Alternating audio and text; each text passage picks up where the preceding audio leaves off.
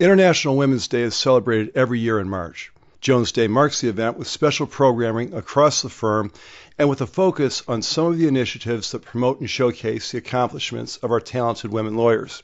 We have a Jones Day panel, our largest ever, in fact, here to talk about it. I'm Dave Dalton. You're listening to Jones Day Talks. We're well into our third year of Jones Day podcasts, but this, I think, is the most impressive panel we've ever assembled.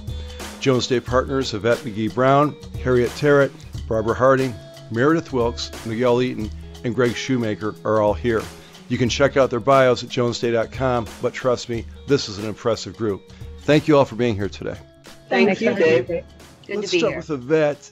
Yvette, every year International Women's Day is observed on March the 8th.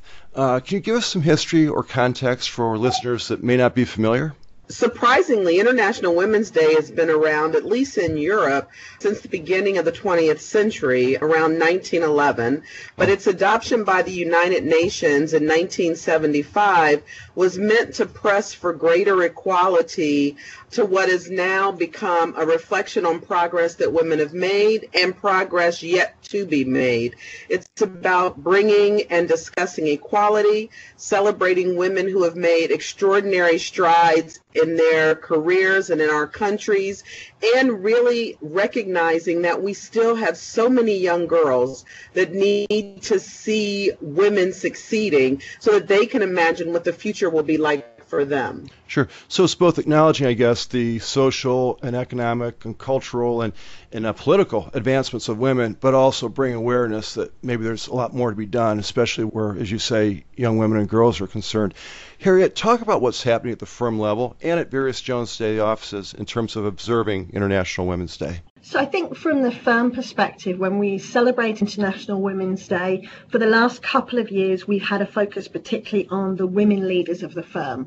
And that's something you'll see again this year. I think one of the really exciting things for Barbara, Kim, and myself is when we update those materials and you have so many more people to add to them because more and more women are taking on roles, responsibilities, and leadership within the firm.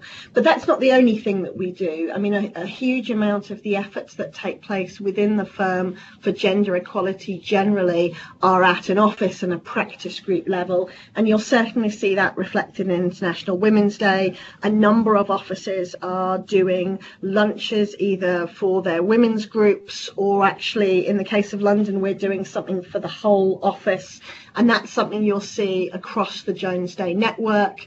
I mean, I think one of the interesting things about this year, particularly 2020, is quite an interesting anniversary for us. It's the 50th anniversary of Jones Day appointing its first woman partner, and that's a theme you will see picked up not just on International Women's Day, but actually throughout the year. And I think the final thing that I would say, and this is a trend we've seen for the last couple of years, but it's really accelerated this year, is actually making sure that the lawyers of the firm are out there supporting our clients who are marking International Women's Day as well.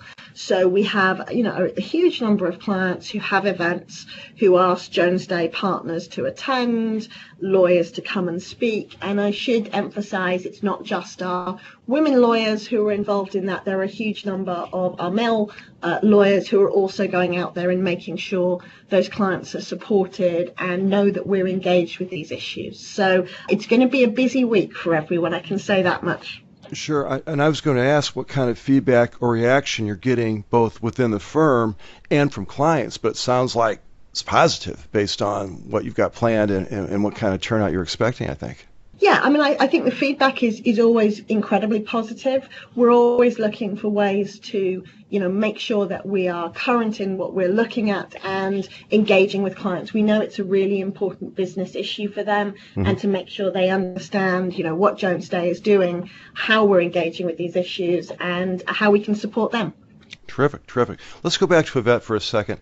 Yvette, this year's theme for International Women's Day is Each for Equal. What exactly does that mean? the Each for Equal theme emphasizes the equality issue, that it's not just about a women's issue, it's about gender equality, which is essential for our businesses, our economies, and our communities. It really is an opportunity for everyone to say that this world would be better if we had gender equality. We'd be healthier, wealthier, more harmonious. So, really, what's not great about that? Really kind of a positive theme or message, I think. Absolutely. And it applies across everything we do, right? Whether mm-hmm. it's the political environment, the business environment, our communities. It really is important that women who are 50% of the population have a seat at the table. This is Miguel. I was just going to say that I think part of the the what you see in the change too is you know, you'll see a young male associate who comes into the firm in the last 5 or 10 years. It, it's not at all unusual for him to work with uh, women partners and, in fact, have a woman partner be the senior lawyer on a case. Mm-hmm. And I think that's just a real paradigm shift for people who entered the practice maybe 20, 30 years ago. And David, absolutely, that's a great point. Sure. Yeah, one one other area. This is Barbara, Hi, Barbara. and I, I think another major change that I've witnessed just in my own career is the number of women clients that we now have. So all of our lawyers, both you know senior and junior, are you know working with senior female leaders at our clients' offices, and I think that's been a major shift and a really exciting development. Absolutely, a young lawyer coming into the profession now won't know any different, right? That, that seems normal, and that's a good thing. That's a good thing. Let's stay with Barbara for a second. Barbara, Jones Day has a very well established and active women's affinity group, and that's just not for International Women's Day. There are events and programs and calls all year long. Talk a bit about that group and what it does, and maybe the plans for 2020. Sure, David. I, I love talking about our women's group. The Women's Affinity Group at Jones Day supports the retention, development, and progression of our women lawyers and leaders. Uh, we have many, many goals, but our primary goal is to help women at Jones Day succeed and advance at the firm. You know, not every office has its own separate women's group, but we do have an active and engaged community of women lawyers across the firm, and we participate in events, programming, and calls where we do a lot of planning. This past year, we had a really exciting event where we celebrated the 100 year anniversary of legislation granting U.S. women the right to vote mm-hmm. on the same night as the UK was celebrating the 100 year anniversary of women being able to enter the legal profession with a major joint broadcast across all Jones Day offices. It was really a fun and exciting evening. A number of our US, European, and Asian offices have all kinds of events planned this coming year. A lot of them in the more recent years are involving our clients, as we've been talking about earlier, where we're also looking at serving the needs of our communities. So that's been um, one of the more recent developments that I think has allowed us to bring together our clients, both female and male, in events kind of promoting female leadership. And I guess one other event, and I probably should let Harriet talk about this, but our London office just hosted a really extraordinary evening where they brought together our private equity clients mm-hmm. uh, together with potential investment opportunities oh. with a focus on female entrepreneurship. And really, I think it was quite an extraordinary evening, and we got a lot of positive feedback from our clients that attended. So we're looking forward to hosting an, a number of programming events this year where we educate our lawyers, where we bring them together with our clients and promote our female attorneys and help them advance in their careers. Well, it's interesting. You mentioned the private equity event in London. Might be a good time to bring in Meredith Wilkes. Women in IP has been a very active group uh, here at Jones Day for the last several years in a successful group with her programming and regular podcasts and so forth.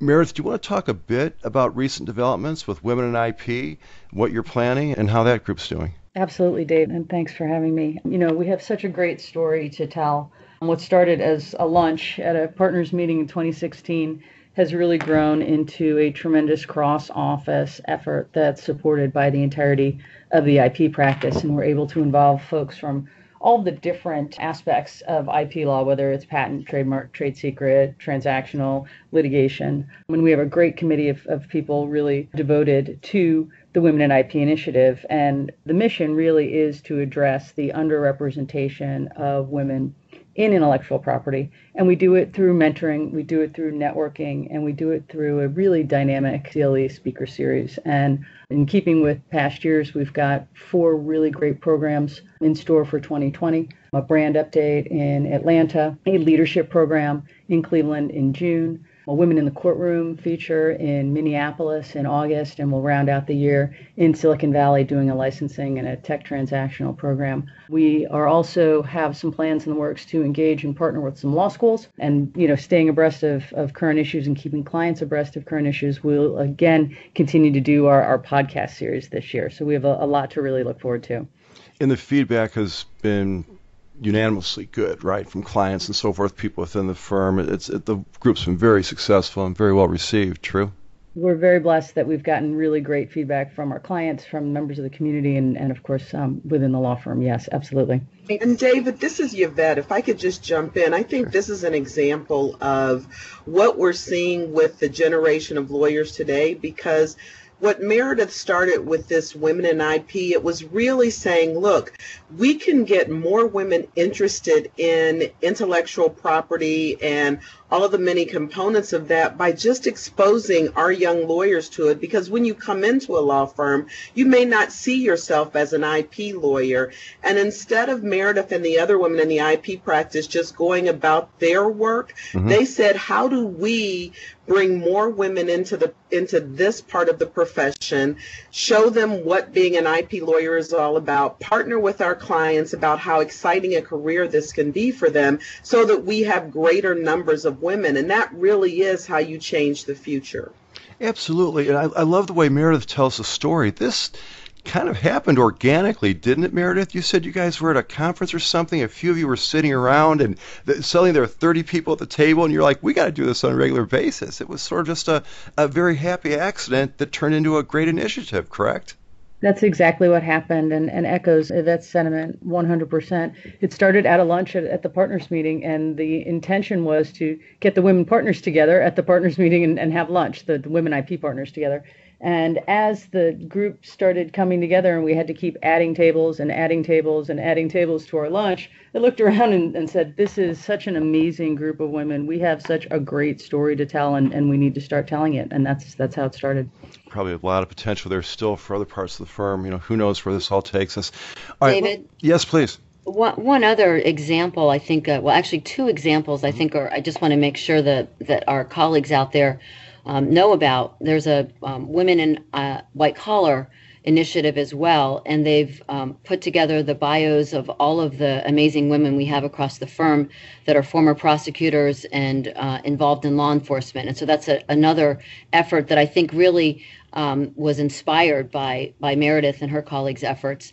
And then another area where we've seen just uh, enormous opportunity is in corporate governance. We're running into, and we have a number of clients um, who are young, uh, you know, young women in their uh, in their offices, in their firms, and they are in line for succession to, you know, major leadership positions with the inside counsel groups at their mm-hmm. companies, but they don't necessarily have all of the kind of corporate governance or financial experience that they need. So one thing that we've started to do is we are pairing up our attorneys at Jones Day who have corporate governance or um, finance experience and just working one on one with some of our clients at companies in order to help these women in their companies succeed and advance to leadership positions at their shops. Barbara, how's that connection made? Do you reach out to the client company? Do they find you, or how do you pair people up? Again, it starts organically. You see uh-huh. a need with a client. The first time it happened, we actually were approached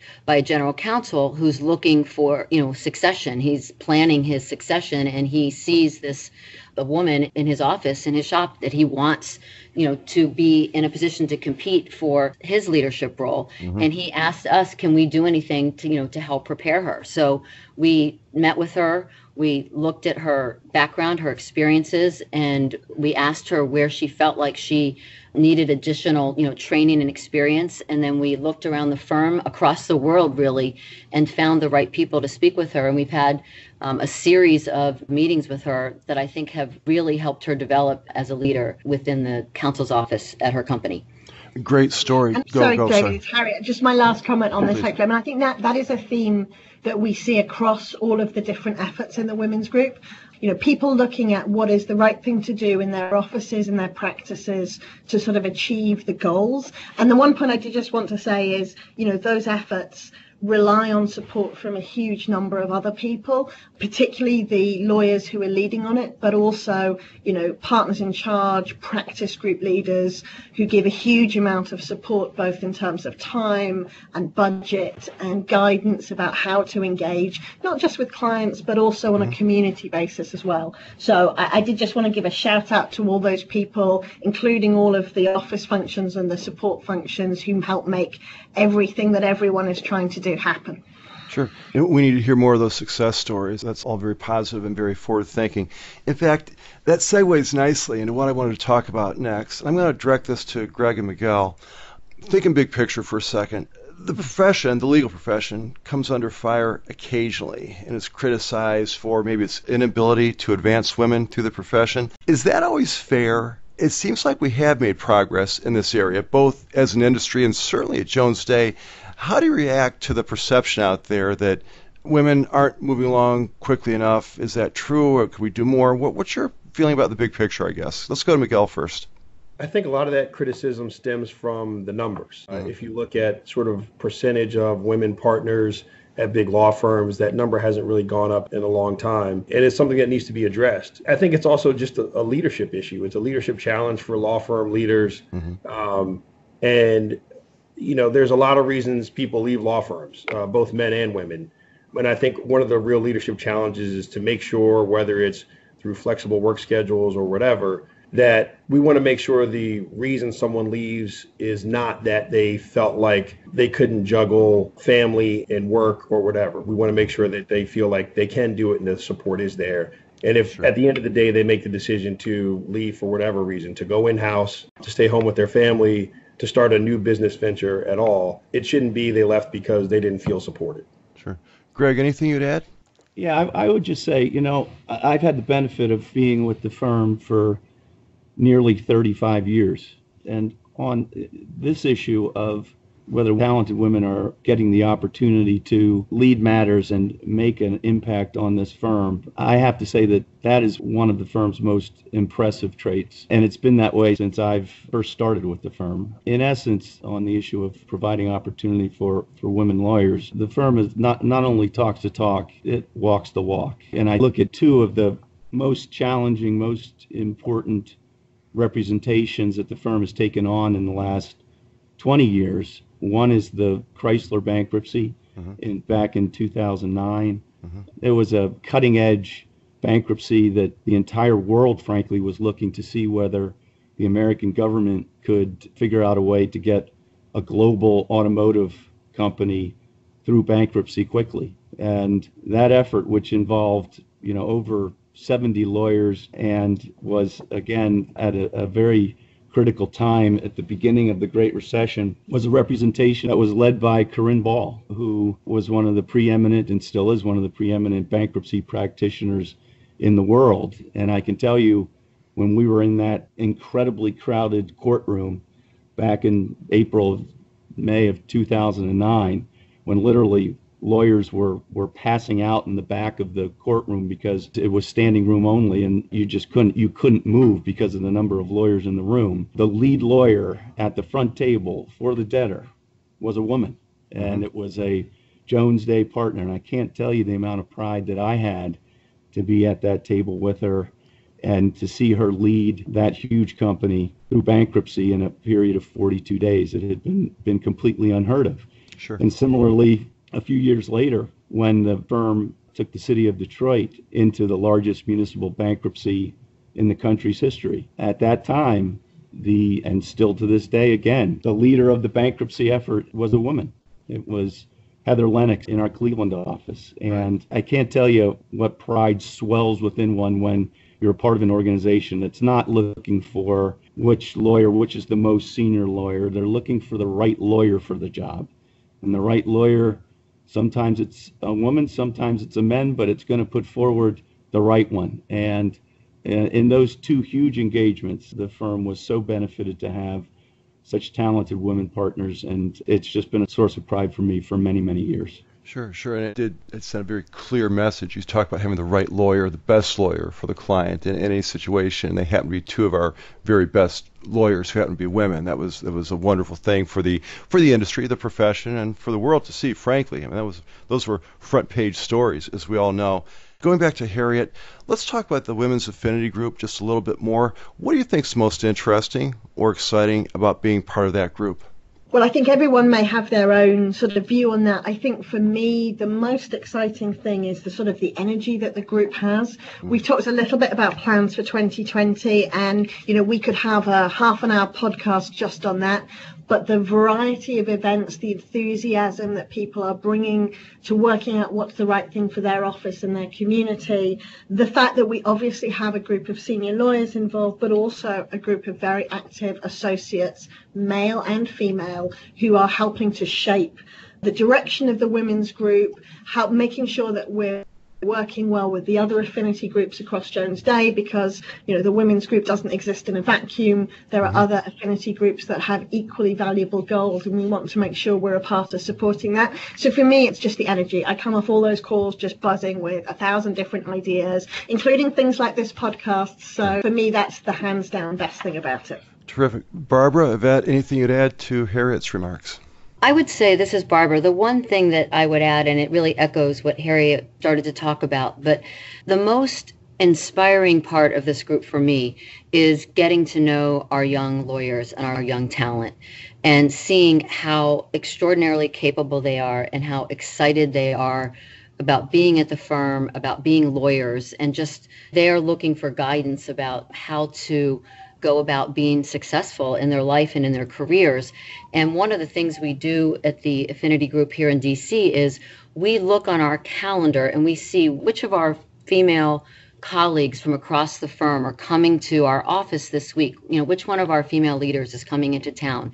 And we will host almost monthly or sometimes even weekly, we will host a senior female leader coming from somewhere around the world mm-hmm. to let our young lawyers see that there are a thousand different ways to be a leader in this firm and in practice of law. There mm-hmm. are a hundred different styles of leadership.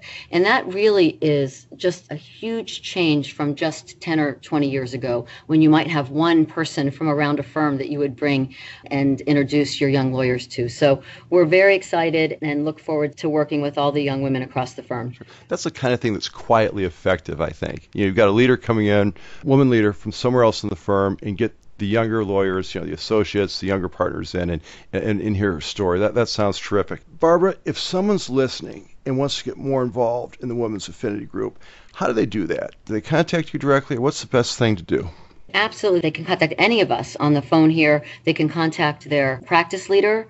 They can contact their diversity coordinator. They can contact, you know, Harriet, myself, Yvette, Meredith, Greg, Miguel. There are so many people involved in the group. But just reach out, send an email, or give us a call, and we will help get you involved. Terrific. Hey, thank you all for being here today. Thanks for all your good work on behalf of the Women's Affinity Group and celebrating International Women's Day. This has been great, and uh, I've got a hunch we're going to do this again in about one year. So thanks so much for your time today. Thank you. Thanks, Dave. Great to speak to you, David. Take care, y'all. You can find complete biographies of all our panelists at jonesday.com. Subscribe to Jones Day Talks at Apple Podcasts or wherever else podcasts are available. As always, thanks for listening to Jones Day Talks. I'm Dave Dalton. We'll talk to you next time. Thank you for listening to Jones Day Talks. Comments heard on Jones Day Talks should not be construed as legal advice regarding any specific facts or circumstances. The opinions expressed on Jones Day Talks are those of lawyers appearing on the program and do not necessarily reflect those of the firm. For more information, please visit jonesday.com.